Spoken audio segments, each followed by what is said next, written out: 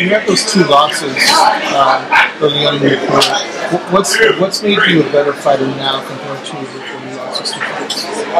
Man, I repeat this a hundred times a day. but uh, it's a day and night, you know. Uh, I've changed my own team. I've changed everything around. Uh, my trainers, the best manager in the world that is, uh, has made the, the tremendous difference in my career. My foundation is solid. I have my army around me. I have the best physical conditioner. I have the best trainer. I have the best. I have the best you know, managers, everybody around me, Golden Boy promoter. So, so um, I got a good, I got a good back, I got a good backing. So uh, I'm going in, I'm going to war, but I'm going to the army. There's so much talk from their side about how many fighters have been so slow to take on, yet you didn't really hesitate at all. to. What was your mindset exactly about, yes, I want this fight even though one of the best? Well, the, stuff about people, they, they generalize. Just because most people have done it this way doesn't mean everybody's gonna do it that way. You know, uh, chiefs live in, in groups, lions live alone. So when that, the opportunity came to me, I saw, I saw ready, and I saw that we got what we want. I spoke with my manager, and uh, everything we want. I said, okay, no problem. Yes, it did come fast. We wanted to make this a super fight, but it is a super fight. And, and now, what's, what's better than now? He's at his best. I'm at, I'm at my best.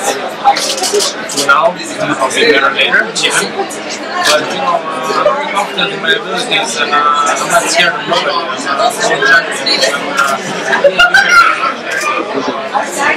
faced with uh, great adversity, and I'm very confident in my abilities. How much of the, the fact that there's 15,000 plus tickets already sold fight, how much of that is the traffic coming from Canada I don't know the exact numbers, but I have a lot of great supporters from Montreal, from Quebec, from Canada. Uh, I've always had big backing uh, there. You know, my style of fighting, my my character attracts people. I'm all business. I'm all real. There's no uh, there's no behind the scenes. It's black or white. I give it as it is.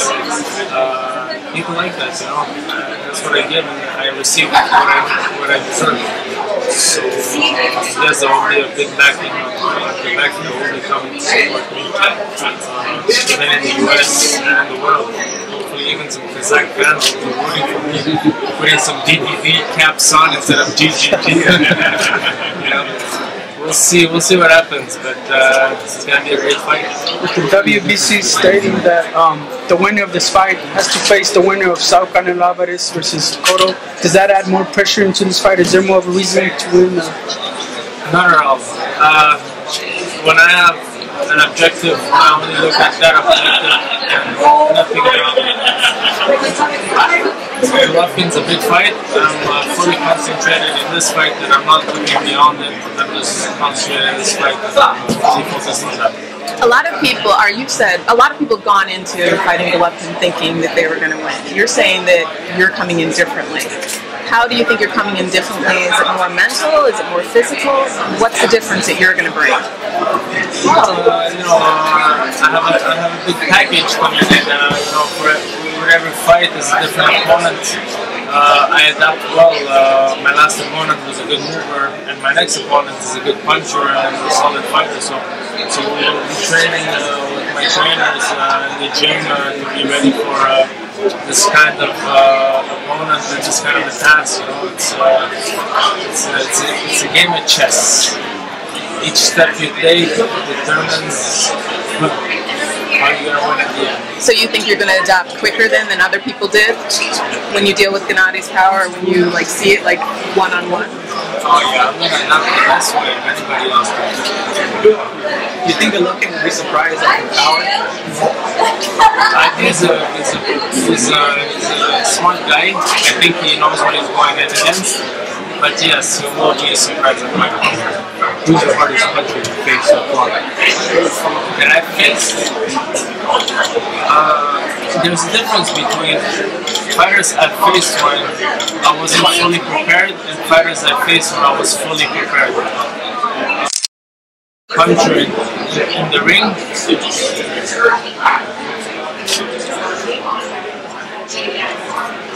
Right? Hard, hard to say. Hard to say. Uh, I don't know.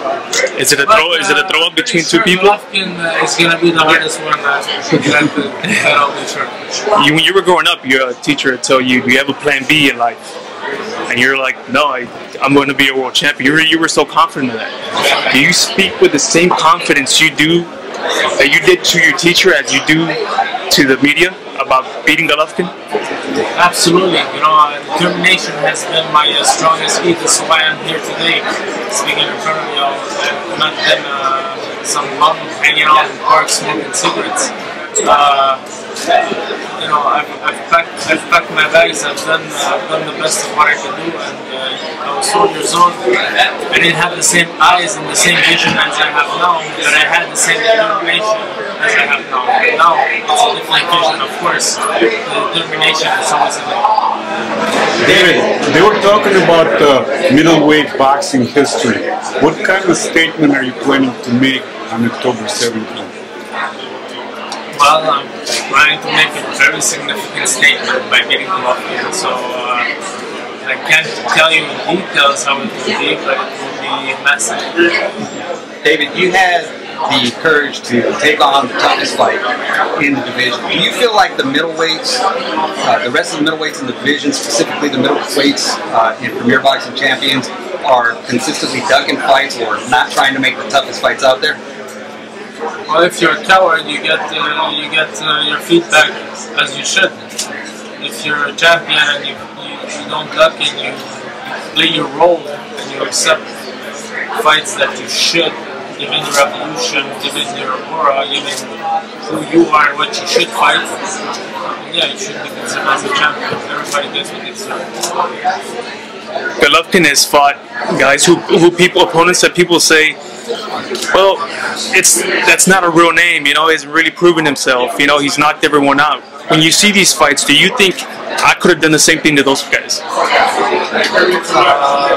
I don't look at it in that way, but uh, he's done he's done a he's done a strong. Uh, has a great career. He's beaten a lot of credible guys. He's a great fighter. The numbers speak for themselves. People will always judge fighters for what they should have done or what they don't do, but you know he's done it.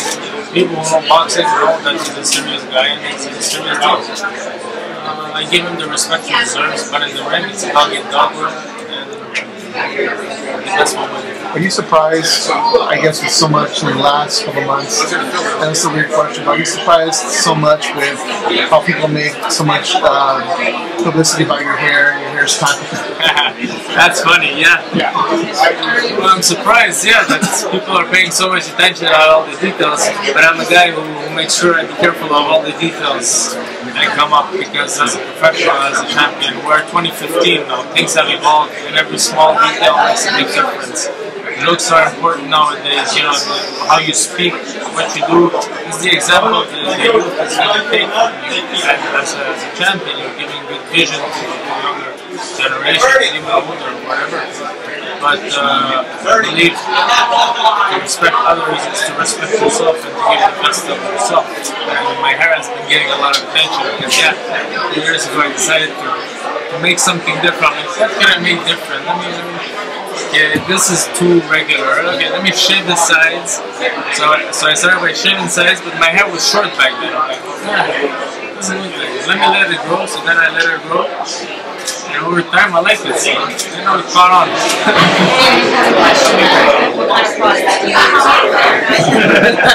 Good question. I don't use much products. I have I have I have wax that I put in my hair because I can't put face because when I sweat it goes in my eyes and it burn. So I put wax and wax doesn't doesn't uh, burn my eyes to. Some guys don't have hair. Sorry guys, can't have this, but but I put wax that holds my hair tight. I can't have it flying around my face when Golovkin's gonna be punching me. You know. One thing that Golovkin said when he was in there was someone said, you know, you're a hero and you said, no, no, no, no, no, you know, I'm a normal guy. Which one do you want to be? Do you want to be a hero to your people, or are you just a normal guy, or are you, are you a mixture?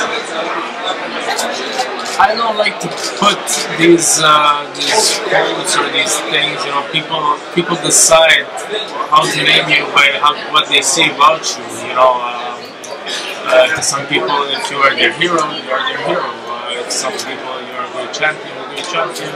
Some people like you. It's okay.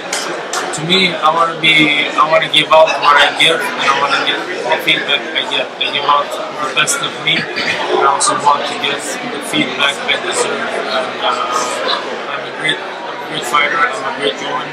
So I want to explore that. Let me ask you about.